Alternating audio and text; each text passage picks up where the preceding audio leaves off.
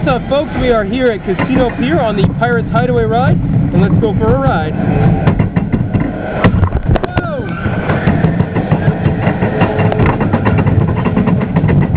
All right, we're going up the spiraling first lift.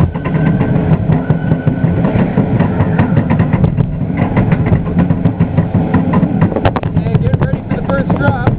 Here we go. Whoa!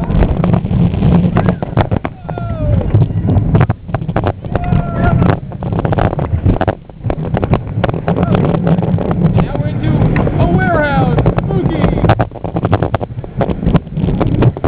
Spooky.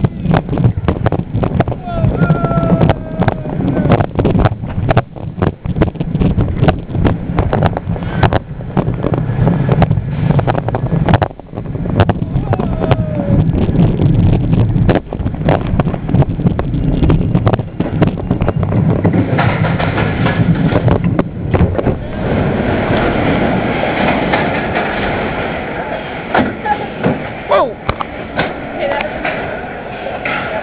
All right. And with that, I welcome you to the latest edition of the A Walk in the Park podcast. I'm your host, Pat McCabe, joined again by my little brother Sean. Say hello. And we did get full permission from the ride up before we did take that picture, so, and there we are. Oh, no, uh, it's video, don't worry about it. And uh, we're here at Casino Pier. Now let's go for our walk in the park. Now over here we got the Jungle Safari, which is kind of a kiddie attraction, but they actually have it themed decently inside, it looks like. And they've got lots of things like this, like I guess a fiberglass statue. They're all over the park.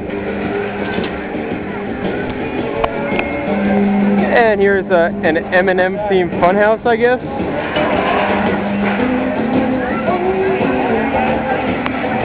Alright, here's the park's Wild Mouse Coaster, which really I thought was just real bad.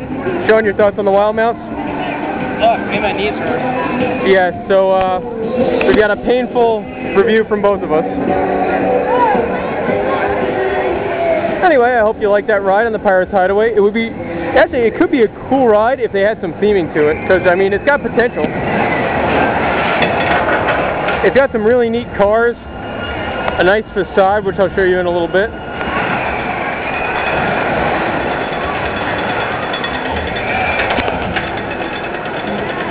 All right, we're coming up to the corner of the park here. And this is uh, really the best ride in the park is this coaster over here in the back. I think it's the Jet Star or Star Jet, something like that. It's your favorite song. Oh, it's a remix. All right, well, we've, we've heard that song about eight times today. That's why I bring it up. Four? Four times, all right. All right, let's just hang out over here and we'll catch the first drop. You really get a great view from up there. I'll stop right here. Anyway, you go up the first lift, then you go over the scenic little pathway, which just by looking at it, it doesn't look right. Like, it looks like there should be another support right in the middle of there. Anyway, you get a nice scenic view of the New Jersey shore, and then down, down, down you go.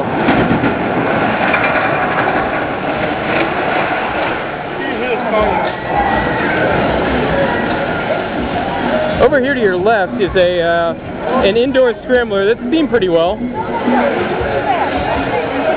Got uh, loud music, flashing lights, all, the whole nine yards. So it's also got a spinning tunnel kind of effect. All right, here's the park's dark ride, uh, Stillwalk Manor, which is uh, just pretty much your average carnival dark ride, really nothing spectacular. Sean, your thoughts? All right, those are Sean's thoughts. Anyway, the log flume appears to be running, which uh, we've seen it broken at least three or four times in our stay today. Actually, this ride I thought was themed pretty well. It's uh, it's like a Music Express mixed with like a Himalaya or something like that. It's not a ride you see at a lot of places, but They have like four of these in the park. yeah, but this one this one's a type that I haven't seen much of. Neat little themed cars and uh, a good flat. And here's the Disk'O, or as I believe the Iowa Central Radio podcast determined it, Brokeback Mountain the Ride. And I'm guessing that's because of its very bizarre restraints that it has. You sort of have to straddle this thing, and then something comes up from under your crotch and hits you in the back to lock you in. Jake Gyllenhaal style. Yeah, very weird. Anyway, the park over here has uh, a very cool looking enterprise. Also, everyone out there, be sure to check out the all new A Walk in the Park blog. It's me, I post things on there just about every day, talking about the amusement industry and all sorts of other stuff. And it's really cool. Check that out at www.awalkintheparkblog.blogspot.com. Anyway, that's cool. A way to expand the Walk in the Park empire. I think it's uh, really quite the addition. Sean will be viewing the blog every day. Oh yeah, me too. Tell your friends. Yes, tell your friends. And have them tell their friends. And now, we're coming up on Sean's favorite ride in the park because at long last, his dreams finally come true. He got to ride up and down on a dick. That's right, Moby Dick. He got to ride up and down, and it gave him quite the feeling in your stomach, didn't it? That word, D word. Yeah, yeah, it's Moby Dick. It's your favorite. You rode the dick good. I love Dick. He did. He loved that dick.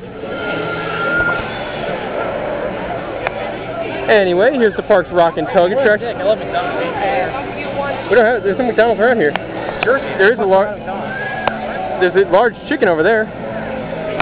What? Large chicken over there. And the park's kiddie coaster, which you can ride, and I did. Got the credit, bringing myself up to 271. Go me, go.